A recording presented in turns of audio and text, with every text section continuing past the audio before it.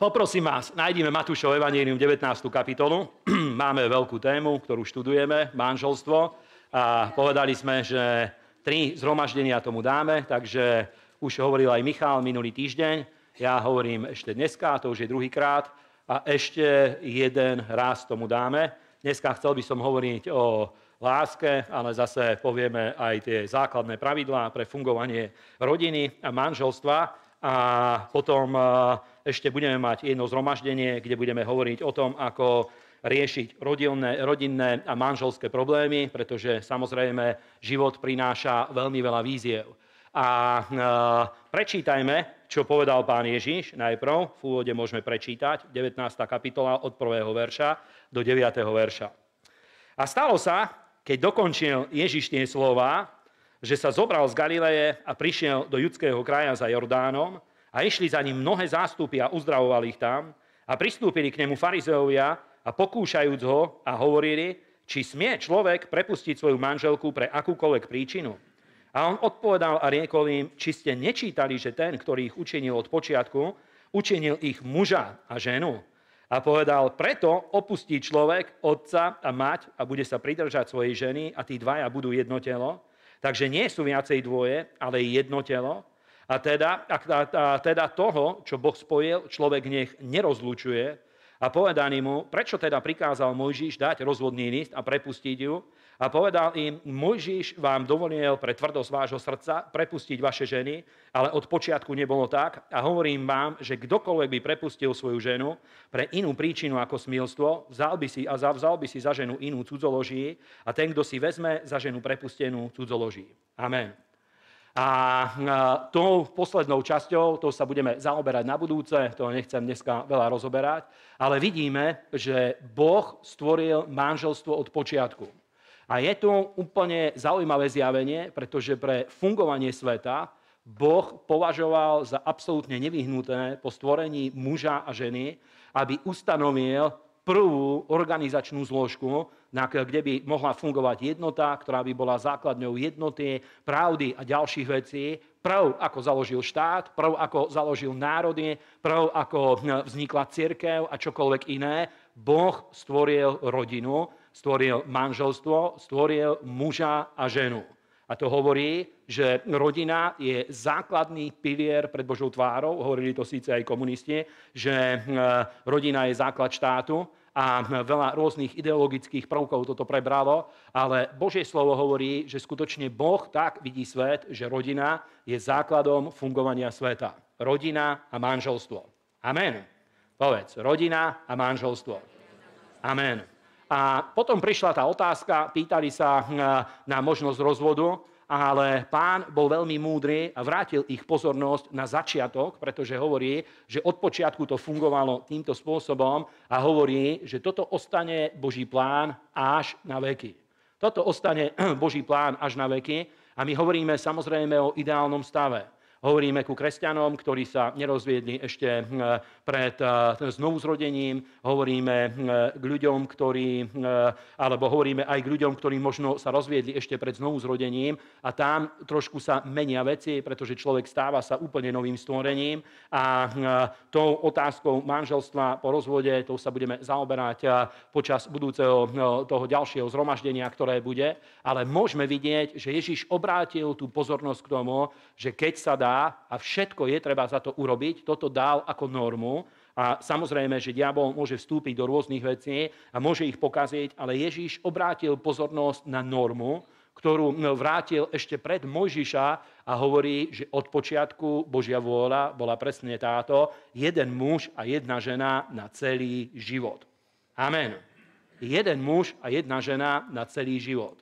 A e, samozrejme, že každý z nás vychádzame z určitého prostredia, v ktorom žijeme, v ktorom sa nachádzame, máme za sebou svoju minulosť, ktorou sme prešli a nevyrastali sme v prostredí, kde tieto hodnoty, konzervatívne hodnoty by boli nejako veľmi e, pretláčané, zvlášť tí ľudia, ktorí majú okolo 30 a menej, tí už veľmi boli zasiahnutí tou zmenou e, myslenia, ktorá prišla, ktorá prebehla ale napríklad ľudia, ktorí majú 30 a viacej, 40, 50, 60 rokov, do veľkej miery ešte boli zasiahnutí tým konzervatívnym myslením. Naši rodičia, moji rodičia, alebo starí rodičia, prastarí rodičia a tak ďalej, oni mali úplne, úplne konzervatívne myslenie a dá sa vidieť, keď vidíte starých ľudí, takých, ktorí už majú, poviem, 80 a viacej rokov a vidíte, že celý život vedeli prežiť bok po boku, títo ľudia sú veľmi vzácni, pretože ukazujú na to,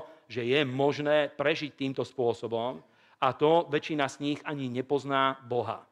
Amen. To väčšina z nich ani nepozná Boha, vôbec nepoznajú pána, ale vďaka spoločenskému vplyvu, ktorý vtedy existoval, vďaka konzervatívnym hodnotám, aj keď nepoznali Boha, tie spoločenské hodnoty, ktoré tam existovali, vedeli im napomôcť k tomu, aby vedeli fungovať vedľa seba, pretože mali pred sebou obraz, že to je normálne. Dneska, čo je najproblematickejšou vecou, prečo je taká obrovská kríza a konflikt ohľadne tohto, je, že mediálny vplyv, eh, pochádzajúci z liberálnych kruhov, veľmi deformuje myslenie ľudí. Pretože eh, keď niekto je nastavený na to, že je mu predstavená pred oči nejaká norma, tak s tou normou vnútorne sa zžije, zvlášť keď nej žije dlhý čas. Ale dneska je problém, že od pádu komunizmu stále viac a viac sa to mení a po roku 2000 ešte prišiel silnejší vplyv liberalizmu a stalo sa to, že dneska už eh, médiá skoro ani neexistujú, neukazujú štandardný model rodiny. Neukazujú to, že eh, žijú jeden muž a jedna žena na celý život a prežili by spolu celý život vedľa seba, ale ukazujú to, že už má neviem neviem koľkú partnerku, alebo manželku, alebo manžela a tak ďalej. A e, je to vždycky je tam zapletená nejaká e, scéna, ktorá je spojená s cudzoložstvom a s ďalšími vecami. A to veľmi mení hodnoty a obraz o živote, pretože človek je tak postavený, že potrebuje mať pred sebou obrazy, potrebuje mať pred sebou živé obrazy a to deformuje ten obraz, ktorý človek v sebe nosí preto, priatelia, my o tomto hovoríme a znovu sa dívame do Božieho slova, aby naša mysel vedela sa obnoviť, pretože vďaka Bohu Božie slovo je o mnoho mocnejšie. A viete, čo Boh povedal Jeremiášovi? Ja tomu verím, že aj teraz, keď eh, hovoríme o týchto pravdách, tak eh, Svetý duch v nás pracuje, pretože Jeremiáša Boh poslal, keď ho poslal, tak mu povedal, choď a hovor Božie slovo a povedal, poslal som ťa, postavil som ťa, aby si eh, aby si hubil a búral a ničil a aby si sadil a stával, pretože najprv bolo dôležité zbúrať to, čo nepriateľ urobil um, uh, v Izraeli a skrze Jeremiášové slova mohlo byť vystavené niečo nové.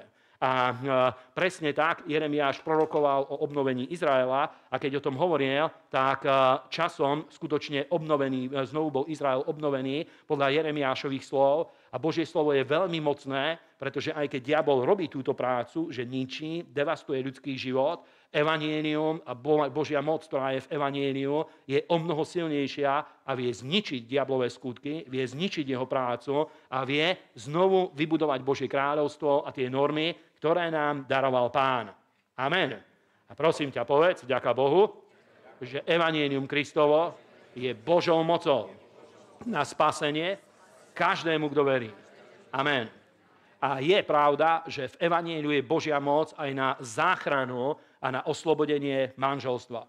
V Evangeliu je Božia moc, ktorá vie vybudovať aj rodinný a manželský život. A poprosím vás, pozrime to miesto, ktoré aj minule sme čítali, list Efeským, ja mám celkom veľa veršov, list Efeským, 5. kapitola, 22 až 33. Toto sú veľmi dobré verše, oplatí sa ich znovu prečítať prečítame celý ten odsek. Ženy, podriadujte sa vlastným mužom ako pánovi, lebo muž je hlavou ženy, ako aj Kristus je hlavou cirkvi a on je spasiteľom tela. Ako aj, e, ale ako sa cirkev podriaduje Kristovi, tak aj ženy vlastným mužom vo všetkom. A vy mužovia, milujte svoje ženy, ako aj Kristus miloval cirkev a vydal sám seba za ňu, aby ju posvetil, očistiac ju kúpenom vody slovom, aby si ju postavil pred seba slávnu církev, nemajúcu škvrny alebo vrázky alebo niečoho takého, ale aby bola svetá a bezvadná. Tak sú povinní aj mužovia milovať svoje ženy ako svoje vlastné telá a hm, kto miluje svoju ženu, sám seba miluje, lebo veď nebol nikdy nikoho, kto by bol nenávidel svojho tela, ale ho každý chová a opatruje, ako aj pán církev, lebo sme údami jeho tela, z jeho mesa a z jeho kostí A za to opustí človek svojho otca a svoju mať, pripojí sa ku svojej žene a tí dvaja budú jedno telo. A toto tajomstvo je veľké, lebo ja hovorím vzťahom na Krista a vzťahom na církev, avšak aj vy, jeden, každý osobitne tak nech miluje svoju ženu, ako sám seba a žena, aby sa bála muža. Amen. A vidíme, tak ako sme vravení, že prvé, prvá ustanovizeň, ktorú Boh oficiálne ustanovil v tomto svete, bola rodina, manželstvo. A vidíme, že tento obraz intimity je, je, je obrazom takisto vzťahu medzi Bohom a medzi jeho ľudom. Takisto v knihách prorokov častokrát čítame, že Boh hovoril voči Izraelu, že on je manželom Izraela a Jeruzaléma a takisto vieme, že v Novej zmluve pán Ježiš vystupuje ako ženích a církev vystupuje ako nevesta. A skutočne to, tá manželstvo, tak ako tu hovorí Božie slovo, je obrovským tajomstvom. A rád by som povedal jednu vec, a síce, že vzájomné spolužitie, pretože vo svete dneska je to tak nastavené, že hlavne mladí ľudia veľakrát rozmýšľajú o tom, že není nutné žiť v manželstve, je možné len tak žiť vedľa seba. A poviem vám, že Božie slovo hovorí, že nie spolužitie dvoch ľudí, aj keď sú opačného pohľavia, je tajomstvom, ale manželstvo je tajomstvo. Toto spojenie muža a ženy, pretože iba v manželstve vzniká splínutie, takže tí dvaja stanú sa jedným telom. A bez manželstva ľudia môžu spolu žiť v jednej domácnosti, môžu spolu prežívať intimné chvíle, môžu mať spoločný majetok, spoločné peniaze, môžu mať spolu deti, ale čo je najzávažnejšia vec, čo hovorí Božie slovo, že tá podstata sa nenaplní, nenastane medzi nimi to vnútorné splínutie a vnútorné spojenie, aby tí dvaja sa stali jedným, aby sa stali jedným zrasteným, úplne vnútorne spojeným, zrasteným a neoddeliteľným celkom. A toto dáva veľmi veľa odpovedí ináč aj na moderný životný štýl, pretože dneska, minule hovoril mi jeden priateľ, že hm, pri evangelizácii stretol sa so skupinou mladých ľudí, ktorí hovorili, že neexistuje iba jeden model spolužitia, muž a žena, ale hovorí, že môžu existovať rôzne. A napríklad títo mladí ľudia, s ktorými sa rozprával, ženy v takej skupine, že dvaja muži a tri ženy v jednej domácnosti a úplne, že mysleli si, fungovali tak, ako kvázi rodina, v úvodzovkách rodina a ako to mali rozdelené, neviem, ako čo robili, ale mali úplne zvrátený systém, spôsob spolužitia a musím vám povedať, že napríklad to sa nevie nikde naplniť, že tí piati budú spolu jedno telo. Napríklad v ich prípade.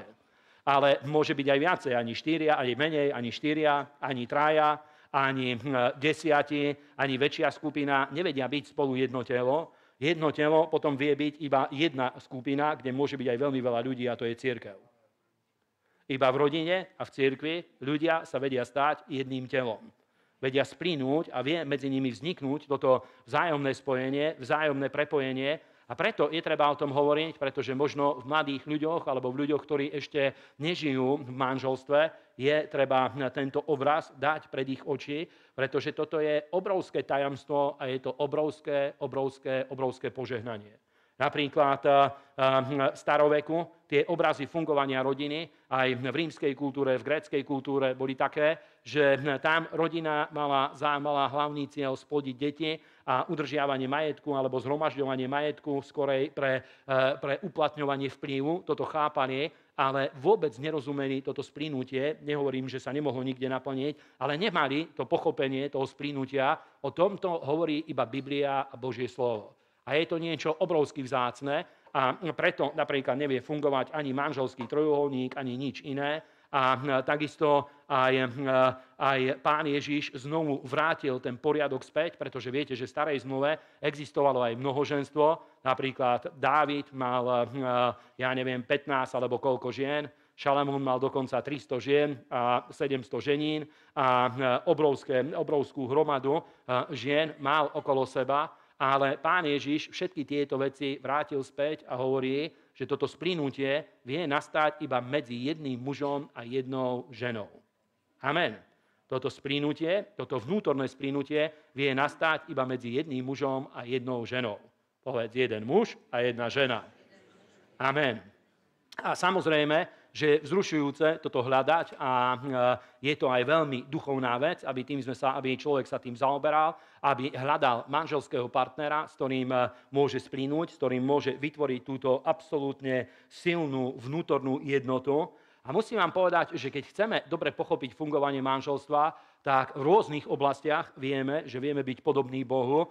A čo sa týka fungovania rodiny a vytvorenie funkčnej rodiny a funkčného manželstva, v tomto sa preklápa do nášho života Božia sláva a Božia moc, pretože to je úlohou muža a ženy, aby vytvorili dobre fungujúce, harmonicky fungujúce manželstvo, aby vytvorili dobre fungujúcu silnú rodinu, ktorá vie pretrvať všetko. Pretože v rodine viete, že, e, že aj muž, aj žena majú schopnosť, aby vytvárali tú atmosféru, obidvaja sa na tom podielajú a e, majú dokonca schopnosť budovať jeden druhého, pretože Božie slovo hovorí, že e, muž je, žena má obrovskú schopnosť, aby budovala život svojho muža, Takisto muž má schopnosť, aby vybudoval svoju manželku, aby stala sa jeho slávou, muž, aby sa stal slávou Kristovou. Toto je cieľ, ktorý Boh má, aby obidvaja boli účastníkmi slávy a účastníkmi Božieho požehnania. A keď sa to podarí, tak poviem vám, že je to úplne zvláštne, pretože eh, Biblia hovorí napríklad, že keď sa podarí vytvoriť toto vnútorné splínutie a môžu prísť aj rôzne krízy, dá sa aj cestou vďaka Bohu prejsť a je tu Božia moc, aby oslobodila každého. Amen.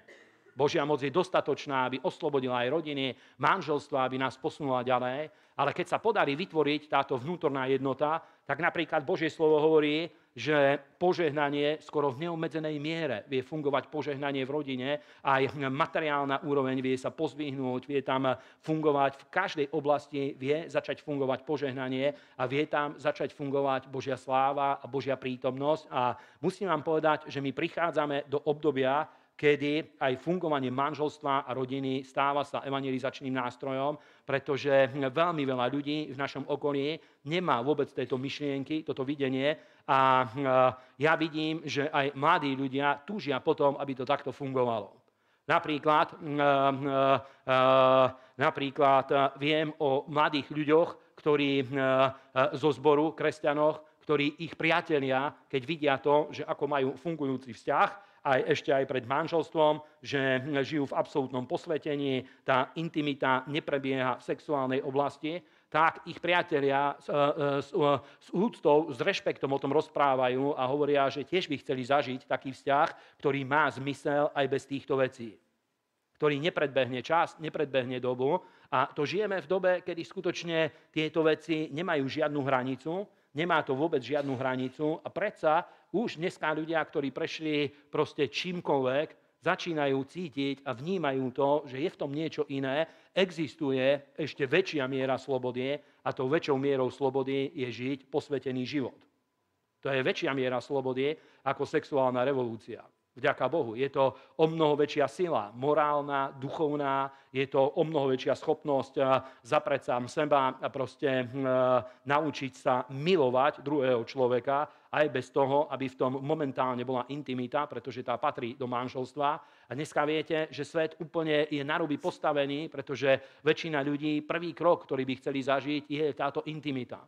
Ale najhoršie na tom je, že keď nepoloží nič na stôl a chce zobrať iba tú smotanu, chce zlízať, ale nič nepoloží na stôl, tak aj v Biblii to máte, ako to bolo s Amnonom a s Támar, s Dávidovou dcerou, že on po nej horel obrovskou žiadosťou a keď ju naplnil, tak ju znenávidel a jednal s ňou ako s absolútnou handrou. Úplne sa to skazilo, úplne sa to zničilo. A ten moderný svet presne tieto veci, ktoré kazia ľudský život, tieto sa snaží dať do popredia. A diabol veľmi dobre pozná ľudskú rasu. Má viac ako 6000 ročnú skúsenosť a skúma ľudský život. Vidí to, čo funguje a samozrejme tak, ako vyvíja sa moderná veda, zhromažďujú sa rôzne skúsenosti, aj diabol stále rafinovanejším spôsobom jedná v tejto oblasti, aby zničil a aby zdevastoval ľudský život aby zničil, aby zdevastoval ľudské spolužitie. A Biblia hovorí, že ten stav manželstva a rodiny, to, v akom stave je spoločnosť, čo sa týka stav manželstva a rodiny, Toto zapadá do kontextu posledných časov a poprosím vás aj nájdite 1. Timoteovi 4, 1 až 3, ehm, prvý list Timoteovi, 4. kapitola, 1 až 3. Tu Božie slovo hovorí, že v posledných časoch nastane obrovský útok práve na inštitúciu manželstva. A e, ja nechcem veľmi politizovať, ale poviem vám, že stojí za to modlitbou spomenúť napríklad to, že veľmi sa treba modliť za Spojené štáty. Asi ste to e, zaregistrovali, že uniklo jedno predrozhodnutie ohľadne toho, že e, chcú zrušiť ten zásadný súdny verdikt, ktorý bol, ktorý umožnil verejne dostupnú interrupciu skoro bez obmedzenia a toto sa potom dostalo do celého sveta. Samozrejme, eh, eh, tam, keď sa to povolilo, tak celý západný svet bola povolená ručná brzda a teraz je obrovská udalosť, ktorá vypôsobila aj samozrejme veľmi veľa agresivity zo strany liberálov a e, veľmi veľa takého agresívneho správania, obscenného to prinieslo na verejnosť a útoky na kresťanov, na kostoly, na pro-life organizácie a tak ďalej. Ale treba sa veľmi za to modniť, pretože keď toto sa udeje, že zastavia ten prístup, ktorý by bol v rámci celých štátov dostupný, že by to bol federálny zákon a dostane sa to na úroveň, že každý americký štát bude slobodne rozhodovať. Toto veľmi by oslabilo aj vplyv Európskej únie a posilnilo by to tú národnú štátnu identitu, o ktorú sa teraz bojuje v EÚ a je to veľmi dôležitá vec, aby sa to podarilo. Môžete sa o tom dočítať v konzervatívnych médiách, celkom hodne sa o tom píše a je to veľmi veľká vec, pretože skoro po 50 rokoch je možné, aby sa to zvrátilo. A keď toto sa udeje, znovu aj inštitúcia manželstva dostane úplne inú, môže dostať úplne inú hodnotu v očiach ľudí a v očiach celého moderného sveta. Znovu rodina, manželstvo môže dostať úplne inú, vážno, úplne inú vážnosť, ale prečítajme Božie slovo. Ale duch hovorí výslovne, že v neskorších časoch odstúpia niektorí od viery, ktorí budú počúvať bludných duchov a učenia démonov, hovoriacich v pokrytstve lož, majúcich e, žhavo poznačené vlastné svedomie, ktorí budú zbraňovať ženica a prikazovať zdržovať sa pokrmov, ktoré Boh stvoril na požívanie s ďakovaním pre veriacich a poznajúcich pravdu. Lebo každé stvorenie je dobré a nič nie je na zahodenie, čo sa príjma z ruky Božej s ďakovaním. A hovorí Božie slovo, že v dvoch oblastiach nastane obrovská zmena. My teraz, pôst to je iná vec, samozrejme. To je úplne iná vec, to má duchovný cieľ. Ale Božie slovo hovorí, že na, pri vyvrcholení veku bude obrovský tlak na to, aby bola zrušená inštitúcia manželstva. A druhá vec je, aby boli zmenené stravovacie návyky ľudí tými stravovacími návykmi, tým sa teraz nebudeme zaoberať, ale aj to je veľká vec, o tom treba veľmi veľa rozmýšľať, pretože existuje tá tzv. zelená mágia a ľudia, ktorí ideologicky prestanú jesť meso, z duchovných dôvodov to je iné. To je obeď, ktorú dáme pánovi. Ale ktorí z ideologických dôvodov toto robia, napríklad, aby zachraňovali zvieratá a tak ďalej, tam veľmi sa deformuje myslenie ľudí a dokonca väčšina týchto ľudí dostáva sa do vzbúry voči Bohu, pretože to má svoj pôvod v hinduizme, v buddhizme a v ďalších demonických náukách. Ale tá vec, na ktorú sa chceme sústrediť, je, že Božie slovo hovorí, že bude tlak z duchovného sveta, a to sa dá cítiť, že toto je duchovný tlak, pretože to nemá žiadne logické vysvetlenie. Že ľudia nebudú chcieť vstúpiť do manželstva. Budú chcieť spolu fungovať, budú chcieť mať spolu deti, budú chcieť žiť intímny život, budú chcieť mať všetky výdobytky, ktoré prináša manželstvo, ale nebudú chcieť vstúpiť do manželstva. A Božie slovo hovorí, že toto je jeden zo znakov vyvrcholenia veku. Pretože tisíce rokov, tisíce rokov civilizácia hm, prežila s manželstvom, za posledných 2000 rokov samozrejme vďaka Evanieniu, pretože dostalo sa tu aj sem, e, dokonca aj medzi skýtov, ktorými sme my, Slovania, sem sa dostalo e, toto skrze Evanienium, toto konzervatívne myslenie a na dlhý čas Božie slovo vedelo zakonzervovať a Evanienium vedelo zakonzervovať spoločnosť, ale s tým, ako nastalo otrhnutie od Božieho slova, a hm, toto sa začalo búrať na konci 19. storočia. 20. storočie bolo o zničení týchto hodnôt, o ničení týchto hodnôt a 21. storočie je toho výsledkom. tak vidíte, že nastáva obrovský, obrovský úpadok civilizácie a ukazujú sa rôzne problémy, ktoré na svete budú prítomné a bude ich stále viacej. A vyvrcholením tohto je kniha Zjavenia, o ktorej teraz nebudeme hovoriť, ale pre normálne fungovanie e, života, pre normálne fungovanie spoločnosti rodina je absolútne, absolútne, absolútne dôležitá. Církev je až na druhom mieste. Rodina je číslo jedna. Amen. Rodina je číslo jedna. Povedz, Bože, požehnaj moju rodinu. Požehnaj moje manželstvo. Amen. A keď nežiješ v manželstve, vo viere si to povedal a Boh ho aj tak požehná. Amen. Príde a vytvorí sa to a Boh ho požehná. Takže je tu tento obrovský tlak, ktorý diabol dáva a toto skutočne pochádza z druhého neba. Toto pochádza z druhého neba a poviem vám, že má to rôzne dôvody. Pretože keď niekto, keď neexistuje inštitúcia rodiny a manželstva, keď neexistuje, ľudia strácajú svoju identitu.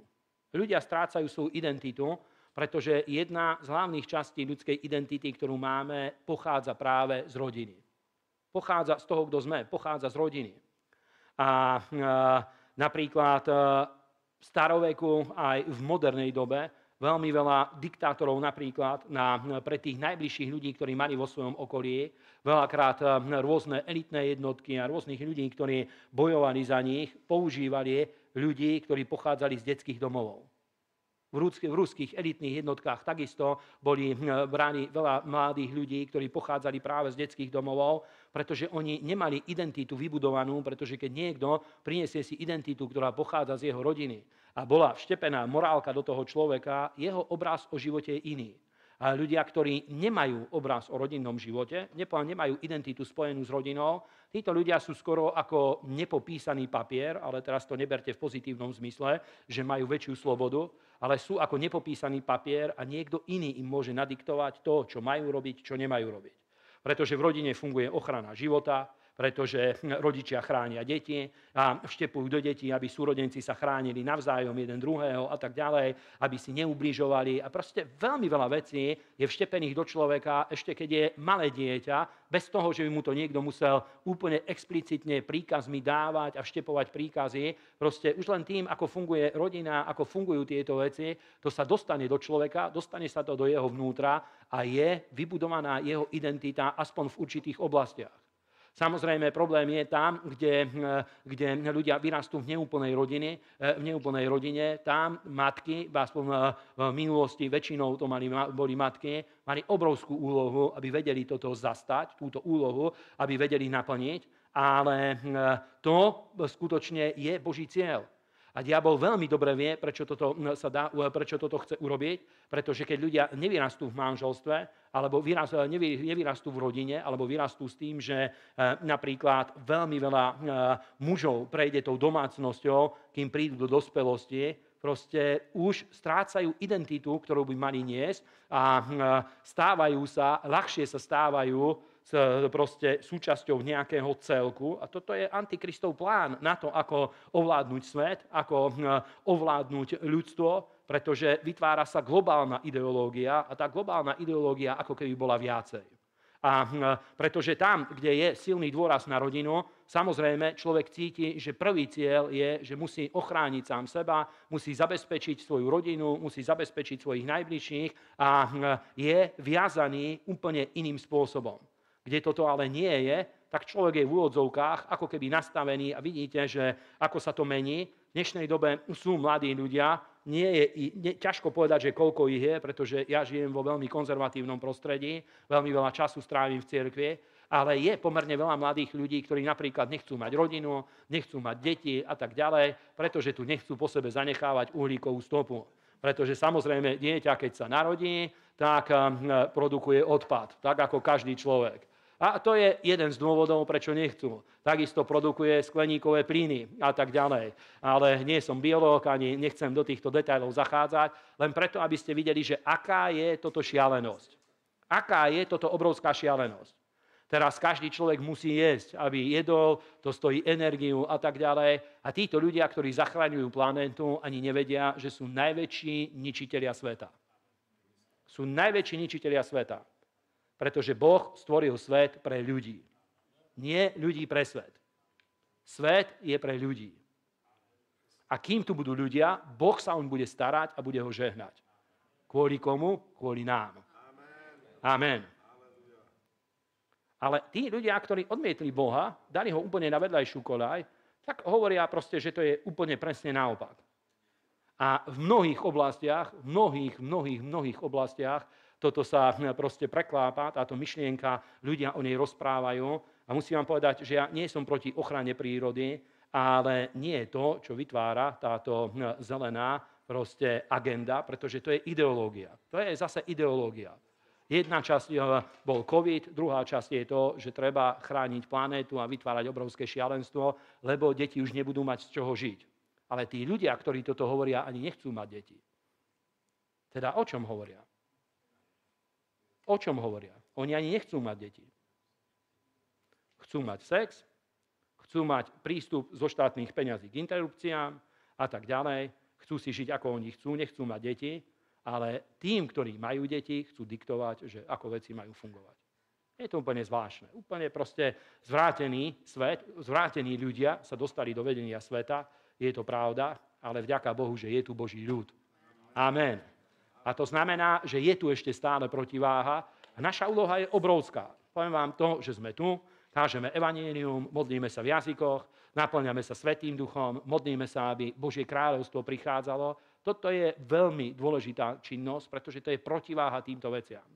Je to protiváha a vďaka Bohu svet je, veľmi stojí na kryžovatke momentálne a preto je treba hovoriť aj o týchto veciach, aj o rodine. Veľmi je treba hovoriť. A podľa mňa v cirkvi aj v budúcnosti bude treba robiť také obdobia, kedy sa bude hovoriť o rodine, pretože ľudia, ktorí prídu zo sveta, majú úplne vytretú mysel, čo sa tohto týka. Veľmi veľa ľudí, ktorí prichádzajú zo sveta, majú úplne vytretú mysel, čo sa týka týchto vecí a nechápu vôbec tie základy. Takže poprosím vás, nájdeme teraz kazateľa, 4. kapitolu, 7 až 12. Budeme chvíľu hovoriť o stabilite manželstva. Ako sa vytvára stabilita v manželstve. A znovu, samozrejme, znovu e, dá sa prísť na úplne jednoduchú vec, že tí ľudia tomu nerozumejú, ktorí, ne, e, ktorí chcú Boha vynechať zo svojho života, tí nerozumejú týmto veciam. Hovoria, že to je vymyslená bajka, že to sú rozprávky, ale pozrite na to, skúsenosti hovoria niečo iné. Skúsenosti hovoria niečo iné. A aj včera, na schvál som si pozeral Wikipédiu a pozeral som nejaké veci, lebo ma zaujímalo, ako to bolo v histórii. Hovoril som vám aj minule o francúzskej revolúcii Napríklad právny systém počas francúzskej revolúcie to určilo budúcnosť eh, novodobého práva v Európe. Veľkú úlohu v tomto zohral Napoleon, ktorý z veľkej časti bol génius, z jednej časti bol šialenec a tak ďalej. Niektorí ho doteraz obdivujú, tak ako Hitlera a ďalších ľudí, niektorí ho zase nenávidia. Ale je pravda, že Napoleon na konci svojho života sa obrátil. A povedal, je taký list našný, ktorý napísal už e, odtiaľ e, z ostrova, z Elby, kde ho väznili, napísal taký list, kde e, napísal to, že mnohí sme sa snažili vybudovať ríše, ktoré pretrvajú tisíc ročia, ale jediný, komu sa to podarí, je Ježiš Kristus. Toto napísal v súkromnej korešpondencii, prišlo mu to na koniec života, prišiel na to, že je jeden kráľ kráľov a pán pánov. Vďaka Bohu. A on vytvoril právny systém, ktorý bol ovplyvnený tými osvieteneckými filozofmi, teda hm, ľudia, ktorí, hm, bola kedysi taká kniha, volá sa Padlí bohovia, kde hm, tých moderných osvieteneckých filozofov od 17. storočia až po súčasnosť boli tam spísaní tí ľudia a ich životné príbehy, ktorí najviac ovplyvnili formovanie moderného sveta. Po francúzskej revolúcii skutočne právny systém sa otrhol od Biblie a títo prví socialisti v úvodzovkách začali formovať právny systém a mimo iné zaviedli inštitúciu rozvodu, čo sa týka manželstva, rozvodu a týchto vecí, absolútne to zliberalizovali. Tam je základ mnohých vecí, ktoré v Európe fungujú. Práve tam prišiel a bol to základ toho osvieteneckého myslenia, osvieteneckého hnutia. A iba preto ale o tom títo ľudia rozprávali, pretože boli zvrátení a nenávideli Boha, nenávideli Božie slovo, nenávideli Božie kráľovstvo, mnohí z nich otvorene sa búrili proti Bohu. A pozrite, čo nám hovorí naproti tomu kazateľ, ako sa dá vytvoriť stabilne fungujúce manželstvo. A kazateľ s obrovskou múdrosťou, Šalamún s obrovskou múdrosťou o tom hovorí, 4. kapitola, poprosím vás, nájdite, 7 až 12. A zase som sa obrátil a videl som inú márnosť pod slnkom. Niekto je sám a není druhého, Nemá ani syna, ani brata a predsa nie je konca všetkej jeho namáhavej práci, ani sa jeho oči nenasítia bohatstva a ani si nepovie, pre koho sa ja namáham a pracujem a unímam svojej duši dobrého. Aj to je márnosť a zlé zamestnanie. Lepšie je dvom ako jednému. Teda byť sám, byť sám, byť sám. Biblia to hovorí, že byť sám je márnosť a zlé zamestnanie. Pretože míňa, život človeka míňa účinok. A ja v minulosti zvykol som o tom hovoriť, keď ja som sa stal kresťanom, aj dneska občas sa s tým stretneme, ale je to už o mnoho menej, tak boli ľudia, väčšinou no, muži, ktorí sa obrátili, 20 30 aj doteraz sa to občas stane, keď sa ich spýtaš na rodinu a na manželstvo, keď ešte nežijú v manželstve, tak hovoria, že ešte nezistil, že či pán chce, aby mal rodinu. A musím ti povedať, že to je úplne zlý prístup. To je náboženský démon, ktorý je v mysli toho človeka, pretože pravda je taká, že má si hľadať rodinu, má hľadať to, ako založiť rodinu, ako mať deti a tak ďalej. A e, keď pán nechce, aby mal, tak mu to zjaví. A Biblia aj to dokonca hovorí, že každý má svoj dar pretože žiť v manželstve, to je dar, ktorý Boh dal človeku. Takisto schopnosť ostať sám je dar, ktorý Boh dal človeku. Je to charizmatický dar, v origináli je charizma, teda je to pôsobenie Božej moci v človeku. A je to úplne vzrušujúce, lebo poviem vám, že to prenáša aj fungovanie rodiny a manželstva od toho, že celé bremeno je na mne, prenáša do inej roviny, že vďaka Bohu my vieme vybudovať dobre fungujúce rodiny a manželstvá, pretože aj v tomto je nám Boh pomocníkom. Amen. Boh nám prichádza na pomoc. Amen. A prosím ťa, povedz, mene Ježíš, ja viem mať dobre fungujúcu rodinu a dobre fungujúce manželstvo, lebo Boh mi aj v tomto pomáha. Amen. Bez Boha je to samozrejme ťažšie, Nepoviem, že to je nemožné, pretože v tom konzervatívnom myslení a, v konzervatívne fungujúcej spoločnosti aj keď manželstva nefungovali úplne šťastne a ideálne, tak eh, eh, vedela sa zachovať táto inštitúcia. A pozrite, teda ideme ďalej, lebo som trošku, eh, trošku odbočil. Lepšie je dvom ako jednému, pretože majú dobrú mzdu za svoju prácu. Lebo ak padnú, jeden pozvihne svojho druha, ale beda jednému, ktorý padne, ten není druhého, kto by ho pozdvihol. Tiež, ak ležia spolu, zahrejú sa, ale jeden akože sa zahreje, a keby sa niekto chcel zmocniť toho jedného, oni dvaja sa postavia proti nemu a motús spletený vo troje nepretrhne sa tak rýchle. Amen. Vidíte, Božie slovo hovorí, že ako uniknúť pred energetickou krízou, či bude teplo v zime, treba sa rýchlo oženiť alebo vydať. Lebo lepšie je dvom ako jednému. Už keď bude veľká zima, no čo? Pritisnú sa k sebe. Dobre, to bol for, samozrejme. Ale vidíte, že Božie slovo hovorí, že keď sú dvaja a vytvorí sa jednota, hovorí o prosperite v každej oblasti. Hovorí, že tým, že nastane toto sprinutie a ľudia vstúpia do manželstva, toto vie priniesť také požehnanie, že v každej oblasti života vieme začať prosperovať. Ešte raz sa na to pozri, ako o tom hovorí Božie slovo. A hovorí, majú dobrú mzdu za svoju prácu. Teda Božie slovo hovorí, že príde materiálne požehnanie.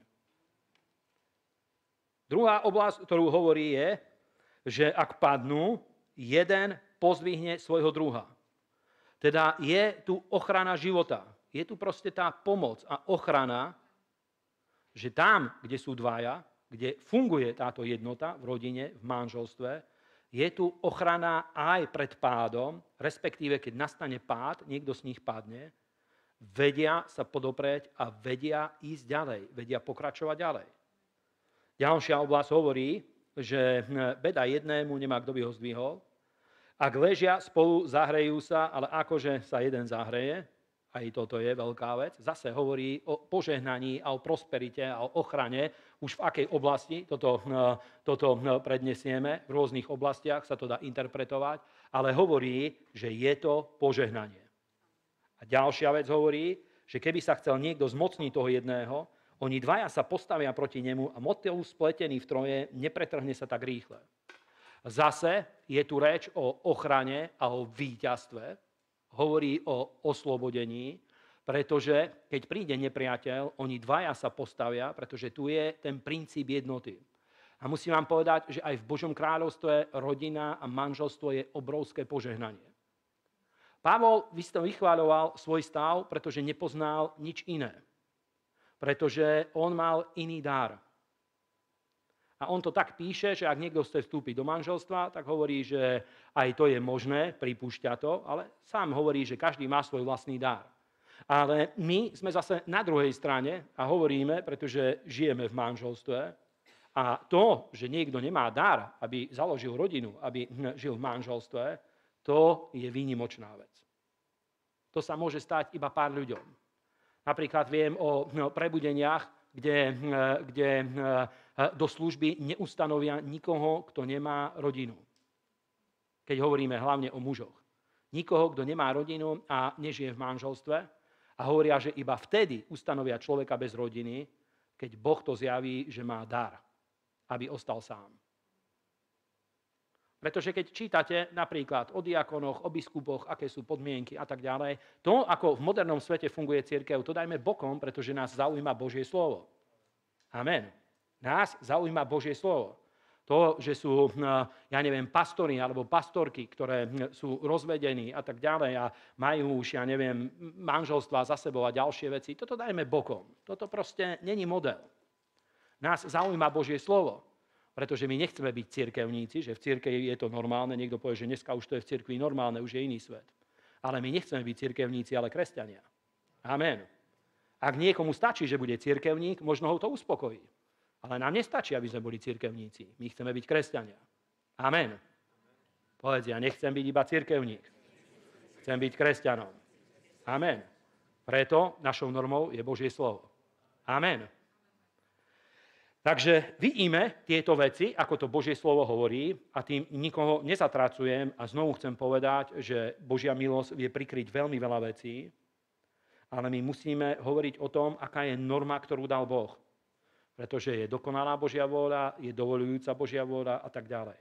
A o tomto ale dneska nemáme čas hovoriť, ale preto o tom hovorím, že toto je videnie, ktoré každý človek musí mať vo svojom vnútri. Nemôže to byť tak, napríklad, že niekto povie, však to vyskúšame, keď to nebude fungovať, tak sa rozvedieme a znovu sa zoberieme. V našom prostredí a v našich kruhoch, v našej službe, v našom hnutí, vďaka Bohu vám musím povedať, že je veľmi málo rozvodov. A aj keď nie všetky manželstva ideálne fungujú, ja si veľmi cením tých ľudí, ktorí bojujú do posledného dýchu za to, aby zachovali manželstvo a hľadajú, ako manželstvo sa môže uzdraviť pretože je tu Božia moc, ktorá vie obnoviť manželstvo a vie obnoviť rodinu.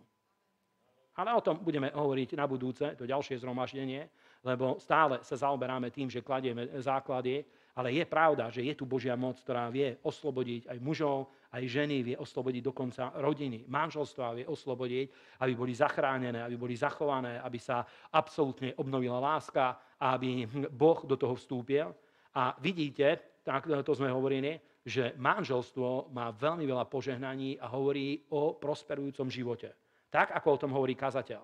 A teraz, čo vytvára tú stabilitu, kazateľ trošku naraz zmení obraz a hovorí, že povraz spletený v troje sa tak ľahko e, neroztrhne, pretože hovorí, že tú stabilitu a to požehnanie a prosperitu v manželstve vytvára nielen vzájomné odovzdanie muža a ženy jeden voči druhému, ale to, že ich životy a rodinu prepletú s Bohom, s Božím slovom a so Svetým duchom.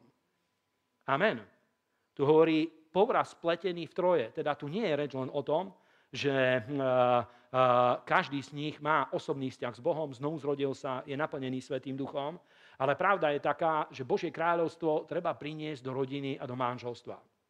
Treba vytvoriť atmosféru, kde toto je bežnou súčasťou, kde v rodine vieme sa rozprávať o Božom slove. Prečítajte si, ja neviem, 6. kapitolu alebo 10. kapitolu Deuteronomia, tam všade sa o týchto veciach rozpráva, že budeš o tom rozprávať vo svojom dome, za svojim stolom, budeš o tom rozprávať so svojim synom, budeš o tom rozprávať so svojou manželkou, napíšeš Božie slovo na zárubne svojich dverí a tak ďalej, že je treba domácnosť naplniť Božím slovom, je treba naplniť eh, domácnosť atmosférou chvály, uctievania, aby bolo normálne, že rodina funguje tým, že hľadá Boha.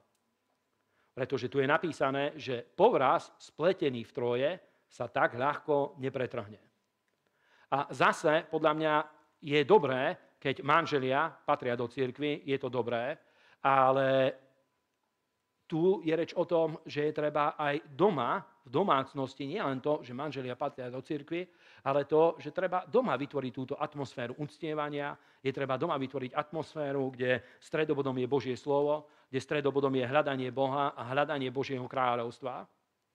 Pretože viete, čo sa udeje? Že tvoje srdce je sústredené na pána a potom, keď človek sa dostane do exponovaných situácií, do hociakých, nastane konflikt, tak máš niečo, čo ťa udrží, pretože v strede tvojho života je Boh. A keď už nastane tak exponovaná situácia, že úcta voči tvojmu manželskému partnerovi ťa neudrží, tak určite ťa zastaví bohabojnosť, pretože aj Boh je súčasťou tvojej rodiny. Keď nastane exponovaná situácia, príde pokušenie, ja neviem, na smilstvo, na cudzoložstvo, v akejkoľvek oblasti, a diabol je veľmi zný a rafinovaný, čo sa tohto týka, hoci aké veci použije proti ľuďom. Tak poviem ti, keď nič iné, tak ťa zastaví bohabojnosť, pretože tvoja rodina a ty, vy ste sústredení na pána a na Božie kráľovstvo.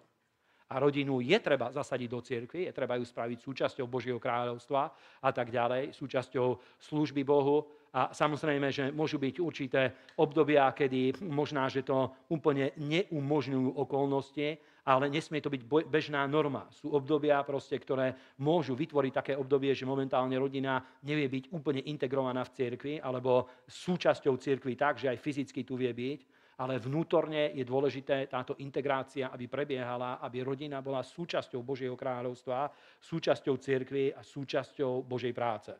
Amen. Aby takto to fungovalo, Božie slovo hovorí, že toto vytvára tú stabilitu. Toto v skutočnosti vytvára tú stabilitu. A poviem vám, že je v tom obrovské požehnanie, napríklad keď manželia spolu vedia sa rozprávať o tom, čítal som hen takú knihu, alebo čítal som Bibliu a hovoria si spolu zjavenia, hovoria si veci, ktoré sa ich dotklie. Je to obrovsky budujúce, pretože neošúchajú sa jeden druhému, pretože Boh sa ľuďom nevie ošúchať. A keď je zjavenie čerstvé, je čerstvé pomazanie, aj toto vytvára vzájomné prepletenie týchto dvoch ľudí, to, že sa spolu zdieľajú o pánovi a o Božom kráľovstve a vytvára to, posilňuje to bohabojnosť a konzervuje to rodinu, pretože Božia prítomnosť vie zakonzervovať nielen ľudský život, ale aj rodinu a manželstvo. Amen. A tu je reč o niečom inom, ako o tom, že staneme sa zákonníci, máme pravidlá, jeden druhého chceme zmeniť. Ja vám poviem, že čo je dôležité je, aby navzájom sme sa povzbudzovali aj v cirkvi, aj v rodine k tomu, aby sme boli čo najbližšie k Bohu. Nie o tom, ako má vyzerať život nejakého človeka. A to už je, tu je reč zase o tom, že čo kazí manželstvo, čo kazí rodinu, čo vie rozbíjať tú vnútornú jednotu. A o tom Božie slovo hovorí, pozrime ešte pár miest. Čítali sme Matúš 19, znovu sa tam vrátime, ešte tri miesta pozrieme z Biblie, lebo je veľa vecí, o ktorých by sme mohli rozprávať a musím veľmi korigovať, pozorovať, na čo Svetý Duch položí dôraz v mojom duchu, a, a, aby sme sa tým zaoberali, lebo vidím, že veľmi veľa času by sme vedeli stráviť tým, že by sme hovorili len o rodine a o manželstve a o výchove detí a o ďalších veciach. Ale hm, pozrime, Matúš 19, Aleluja. A vidím, že vás to baví, lebo ste tak ticho a nespíte. Aleluja. Lebo manželstvo je vždycky vzrušujúce. Každý jeden deň. Či na jednej strane, alebo na druhej. Vždycky je vzrušujúce. Aleluja. Niekedy je oheň v jednej oblasti, niekedy na streche. Niekedy, niekedy inde, ale furt to je vzrušujúce, nikdy sa nenudíš v manželstve. B, B, presne. Ale asi to bol kresťan, lebo bekal ako ovca. Možno chcel povedať, že áno, chcem ostať celý život. B, B. Cirkevník. Ešte raz sa pozrime tu na. Keď sa pýtal na, na tú možnosť od 7. verša, iba čítajme, máme málo času. A povedali mu, prečo teda prikázal Mojžiš dať rozvodný list a prepustiť ju, a povedal im, Možiš vám dovolil pre tvrdosť vášho srdca prepustiť vaše ženy, ale od počiatku nebolo tak. A hovorím vám, že kdokoľvek by prepustil svoju ženu pre inú príčinu ako pre smielstvo a vzal by si za ženu inú, cudzoloží a ten, ktorý si vezme za ženu prepustenú, cudzoloží. Ježíš povedal, že čo je základný problém, prečo vznikla táto dovolujúca vôľa. A toto bolo v období starej zmluvy. Prečo bolo možné vôbec ísť do, eh, do rozvodu? Božie slovo hovorí, že základným problémom je tvrdosť srdca. Tvrdosť srdca. Prečo vznikajú vôbec problémy v manželstve? Jednak preto, že spolu žije muž a žena, ale jednak kvôli tomu, že je tvrdé srdce. To je dôvod, prečo vznikajú nevyriešiteľné spory medzi mužom a medzi ženou. Tvrdosť srdca. Toto hovorí Božie slovo. A musím vám povedať, že áno, je to pravda, že život v manželstve je o mnoho duchovnejšia vec, ako by si si mohol myslieť. Je to o mnoho duchovnejšia vec ako, ako služba a ďalšie veci. Tým nechcem povedať, že je to jediná vec, pretože náš život musí mať rôzne oblasti. Ale rodina a manželstvo a fungovanie manželstva, toto je veľmi duchovná vec. Toto je veľmi duchovná vec. Toto je absolútne duchovná vec, pretože musíš byť človekom, ktorý je pripravený aplikovať Božie slovo, aby to fungovalo. Pretože zlaté pravidlo pre fungovanie manželstva na celý život je, že dve ukrižované staré prírodzenosti. Viete prečo? Lebo stará prírodzenosť je absolútny egoista. A keď prídeš do rodiny, kde smrdí egoizmus, tak vidíš to, že tam nie sú dve ukrižované staré prírodzenosti. Aj minule som vám to vravel, že to je najväčší problém je, že keď ľudia idú do manželstva s tým, že čo dostane. Toto je veľký problém. Lebo do manželstva musíš ísť s iným postojom, že čo si pripravený dať. Nie, čo dostaneš. Je to úplne iné, ako funguje svet. Je to úplne iné. Ale je to princíp sejby a žatvy. Je to princíp fungovania lásky, pretože láska dáva. Nepýta sa na to, čo dostane, láska dáva. A príjima. A je to veľmi podobné, pretože ľudia by chceli mať, proste vstúpia do manželstva, nechcú nič položiť, chcú iba brať a potom povie, že vidím, že to manželstvo to není proste nič také jednoduché, ma to nebaví, som z toho sklamaný. A pozri, keď chceš kúpiť niečo dobré, prídeš, napríklad, ja neviem, prídeš do obchodu s drahými šperkami. Pýtaš sa, povedia, že prídeš, chcel by som niečo výnimočné. Ponúknite mi niečo výnimočné. A hneď sa ťa spýtajú, že koľko si ochotný zaplatiť. Keď chceš výnimočné manželstvo, prvá otázka je, chceš mať výnimočne fungujúcu rodinu, prvá vec, ktorú sa ťa spýtajú je, že koľko si ochotný zaplatiť. Aj 100 eur. Každú hodinu. Každú hodinu. Alebo aspoň každý deň.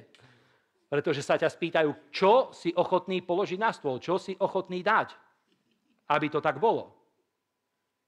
Chápeš? Lebo niekto povie, že ale tie najlepšie veci sú zadarmo. Je náboženský oklamaný človek pretože tie najlepšie veci sme dostali z milosti, ale bola za ne zaplatená najväčšia cena. Tie najlepšie veci vôbec nie sú zadarmo. Čo je zadarmo, to je odpad. Aj keď aj na tom sa zarába dobre, samozrejme. Čo je zadarmo, to je odpad. To nemá žiadnu hodnotu, preto je to zadarmo. Ale tie najlepšie veci majú obrovskú cenu. Keď vidíš úplne krásne fungujúce manželstva môžeš vidieť, alebo dobre fungujúcu rodinu môžeš vidieť, že títo ľudia sa naučili dávať. Naučili sa, že musíš niečo položiť na stôl.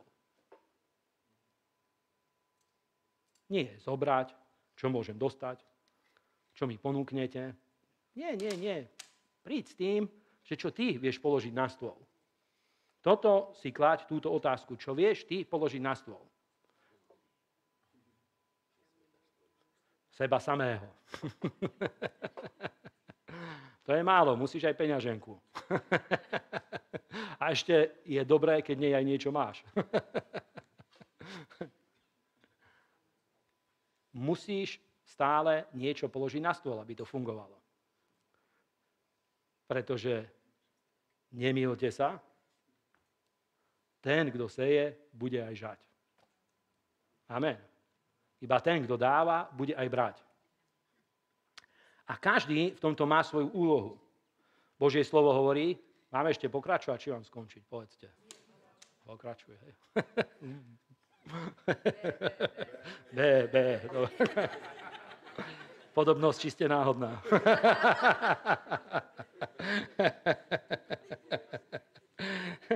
Prvý Timoteovi 2.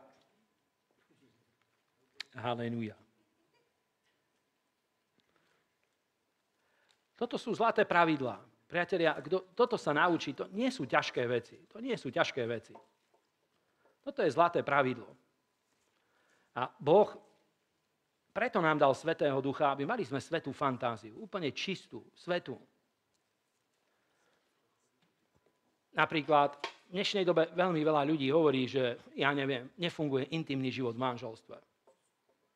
A musím vám povedať, že aj to má svoje príčiny, pretože ak niekto má obraz o intimnom živote na základe pornografických filmov, tak je úplne mimo.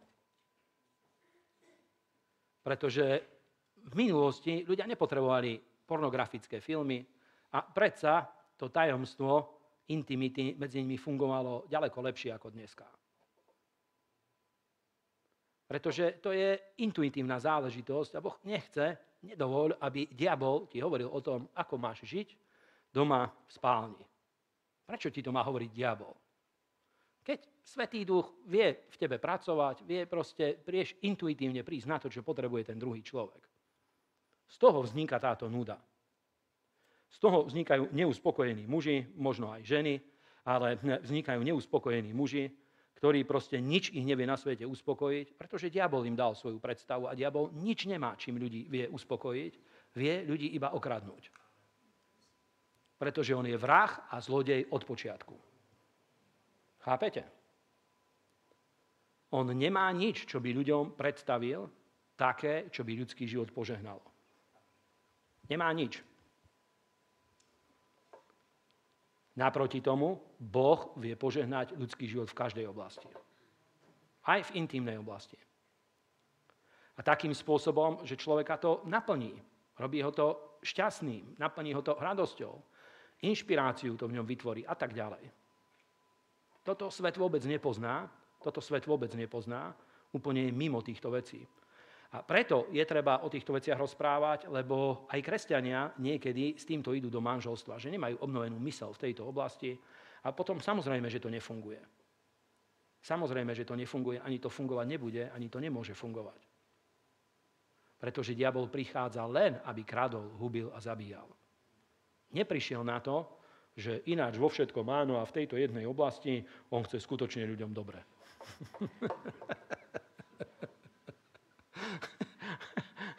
Diabol nikdy nechcel ľuďom dobre. Nenávidí ľudí. Chce ich pošpiniť, chce ich zničiť, chce zdeformovať ich životy a tak ďalej. A muži tiež nemôžu chcieť, aby ich manželky sa správali ako prostitútky. Mnohí by to chceli, ale nemôžeš to chcieť. Pretože už ten obraz nečistého života do teba vložil diabol skrze pornografiu. A keďže väčšina mladých mužov prvý obraz o intimnom živote dostanú práve z toho, že pozerajú pornografiu, preto už ide s deformovaným myslením, vstupuje do manželstva. Pozrite, v staroveku Nikto toto ľudí neučil. A predsa mali deti, fungovali, boli šťastní a tak ďalej.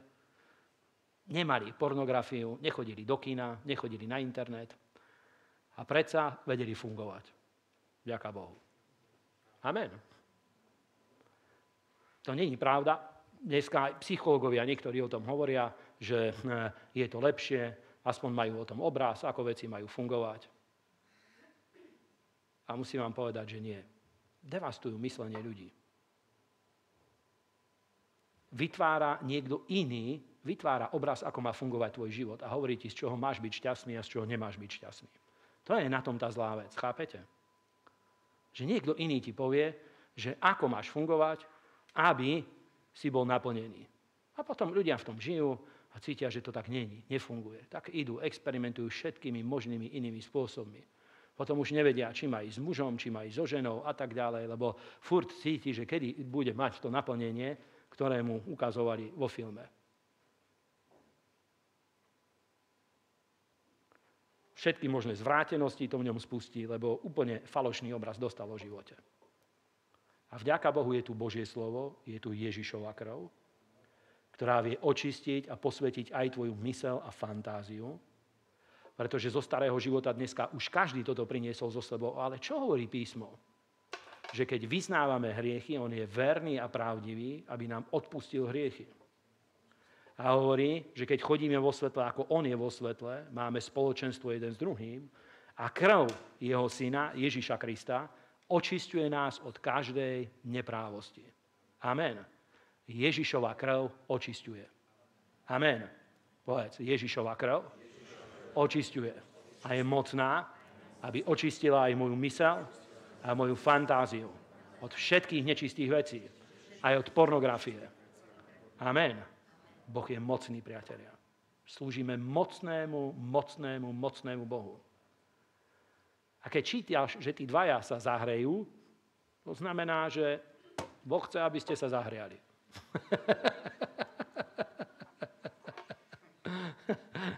aby ste sa rozpálili navzájom, keď už to tak mám povedať. Amen. Aby všetko dobre fungovalo na Božiu slávu. Haleluja. 1. Timoteovi, dva verše ešte prečítame, dve miesta. 1. Timoteovi 2, 9 až 15. Toto je dobré slovo. V Novej smole veľa o tom hovoril Apoštol Pavol, ďaká Bohu. Veľmi veľa o tom hovoril.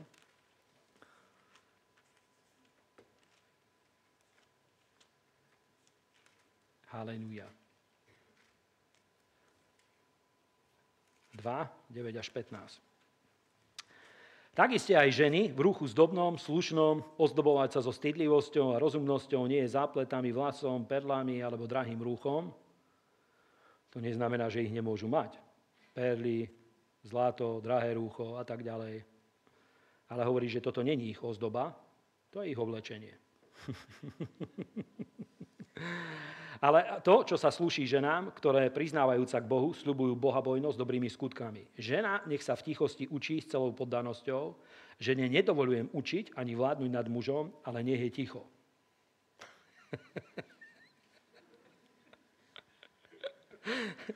Lebo Adam bol stvorený prvý, až potom žena, eh, pardon, Eva. Ani Adam nebol zvedený, ale žena, súd zvedená, dopustila sa prestúpenia a tak ďalej. Teraz, keď sme boli v Jeruzaleme, boli sme v Christchurch na, na kávu, spoznali sme sa tam s jedným anglickým misionárom, ktorý hovoril po česky, lebo žil v Prahe. A on hovoril takou lámavou češtinou. Sedeli sme vonku v zárade a prišiel s manželkou a hovorí, že moje žena, nemluvíci, už sme mu chceli gratulovať a potom podal po česky.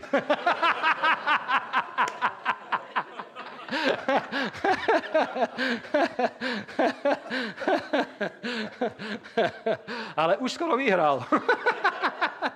Ale nie, dobre. Ja mám rád, keď moja manželka rozpráva. Presne, to je ako štebot vtáčikov a tak ďalej. Veľmi dobre sa pri tom medituje.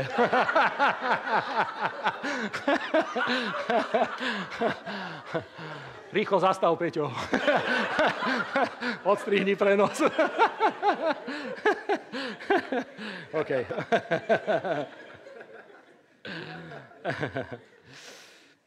Hovorí, že nedovolujem žene, aby panovala nad mužom. Toto je podstata. Toto je podstata. Pretože rečami sa dá človeka zničiť. Pozrite, ja neviem, Samson. Kto ho zničil? Diabol, samozrejme.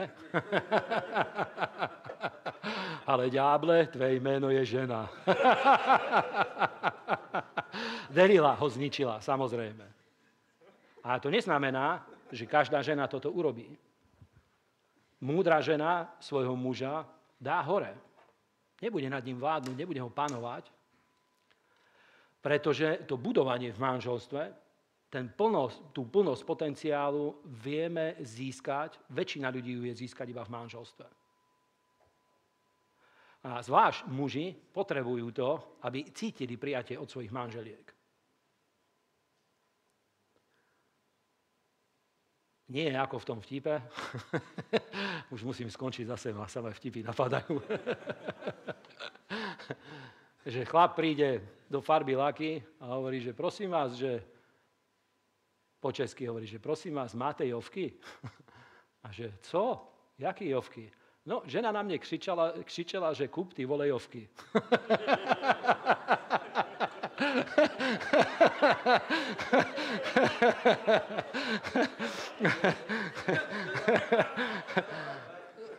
Nesmie byť takáto komunikácia medzi mužom a ženou.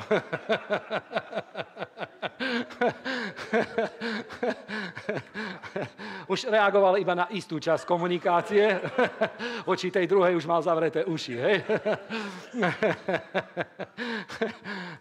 A nesmie to fungovať týmto spôsobom, pretože preto aj do postu sme to dali, pretože slovami v rodine atmosféru vieš vybudovať hlavne slovami.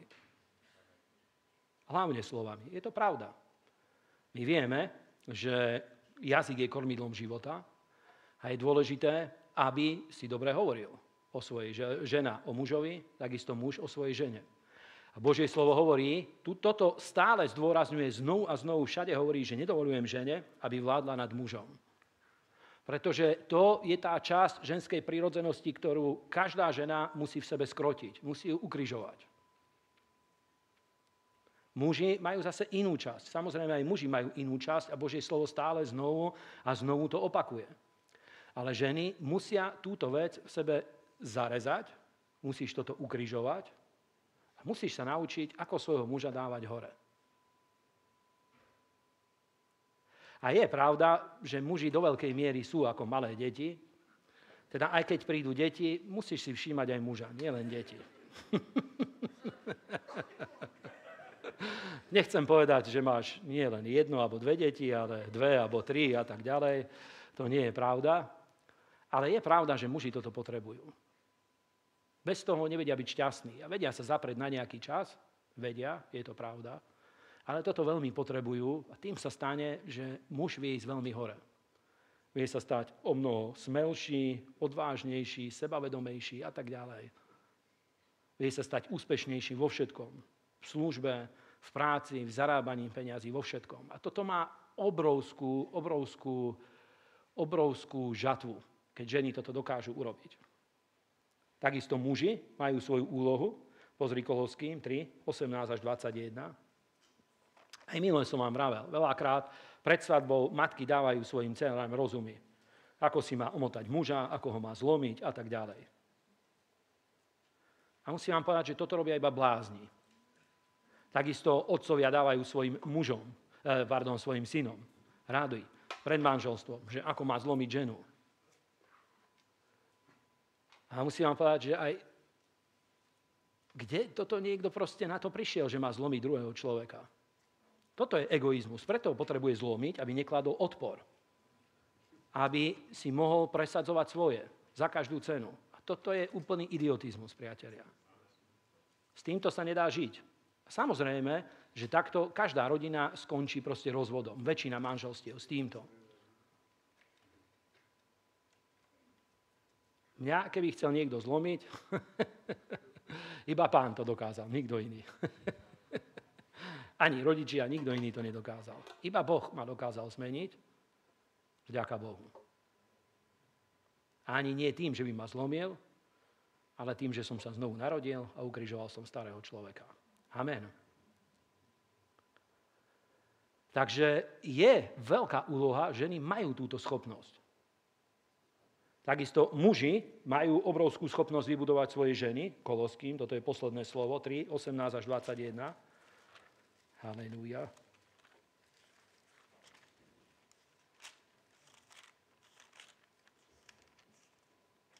Halelúja.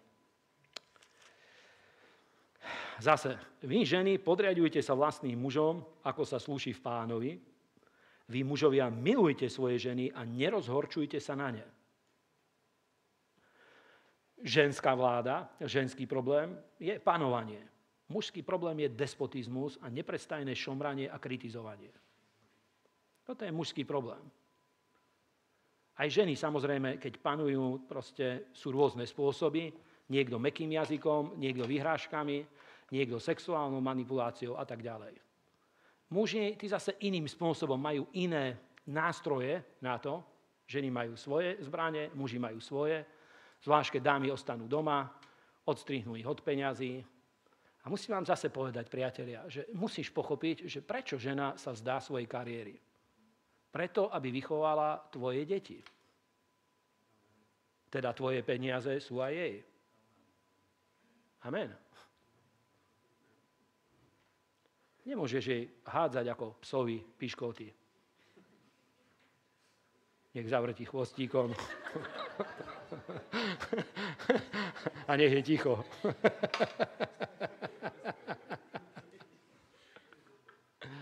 Je to pravda. Je to pravda. Niekedy hovoria muži, že však nič nerobí, len doma je celé dní s deťmi. Poviem vám,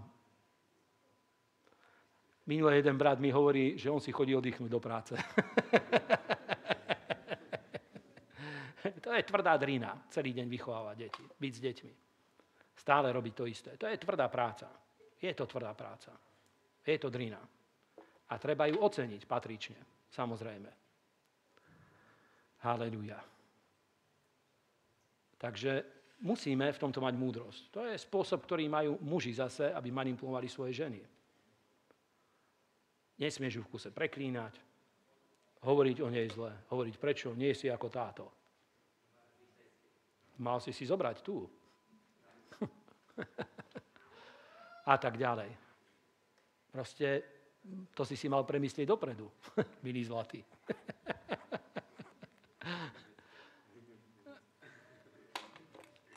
Treba hľadať Boha, ísť do Božej prítomnosti. Týmto vieme vybudovať jeden druhého, priatelia. Nemôžeš hundrať stále, kritizovať a tak ďalej.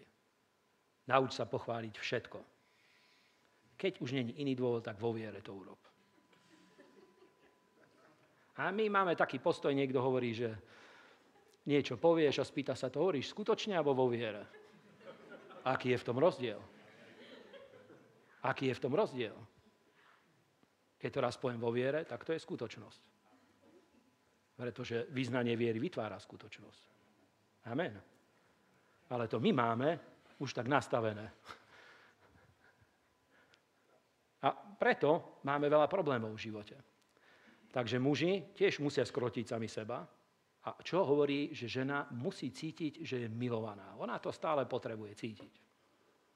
Že je milovaná. Stále potrebuje cítiť, že muž ju obdivuje, je s nej úplne na vetvi a tak ďalej že je pre neho jedinečná, žiadna iná neexistuje na svete. A presne takto to má fungovať.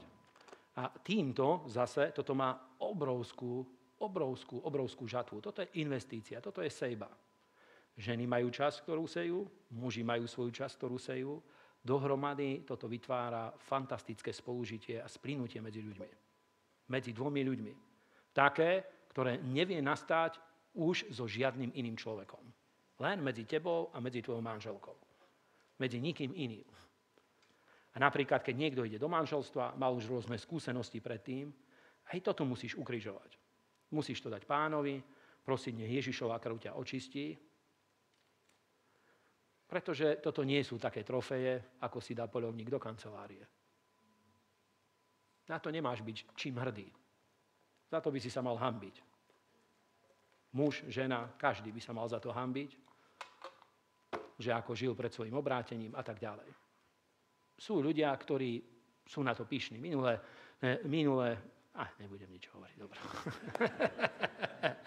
Pán je dobrý, čo vám budem hovoriť. je veľa vecí, ktoré by sme vedeli rozprávať, budeme pokračovať ďalej, ale vidím, že sme to dobre trafili. Ďaká Bohu. Boh je mocný. Môžeme sa postaviť.